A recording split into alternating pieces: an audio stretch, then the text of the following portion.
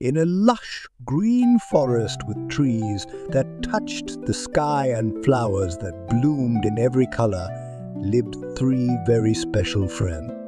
Woody the woodpecker had the brightest red and yellow feathers that shimmered in the sunlight. He was cheerful and generous, enjoying every moment he shared with his friends. Benny the bunny, with his soft brown fur, was Woody's best friend. Benny loved to share everything he had, from the juiciest carrots to the sweetest berry. Then there was Greedy Gus, a squirrel with a sleek gray coat and mischievous eyes.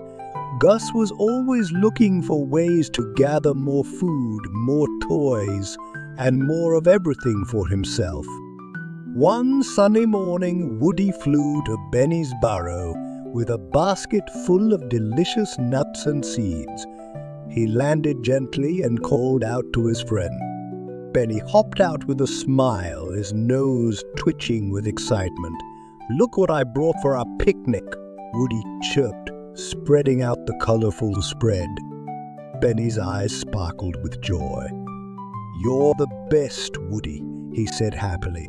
As they enjoyed their picnic, Gus watched from behind a tree.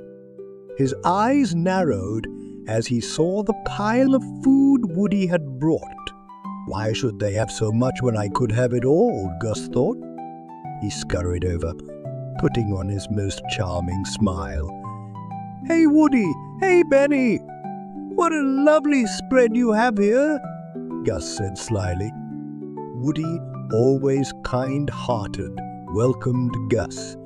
Would you like to join us, Gus? We have plenty to share. Gus's eyes gleamed with greed as he accepted the invitation.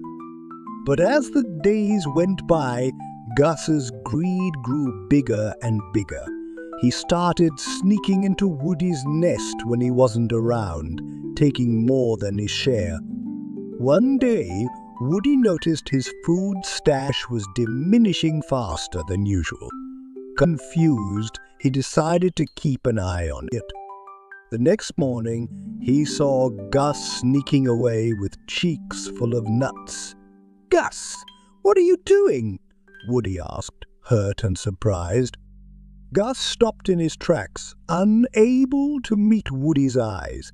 I, I just wanted more, Woody, he stammered. Woody took a deep breath and thought carefully. Gus, Friendship is about sharing and caring for each other, not taking more than we need. If you keep being greedy, you lose friends, Woody explained gently. Benny hopped over, nodding in agreement. Let's all share what we have and enjoy it together.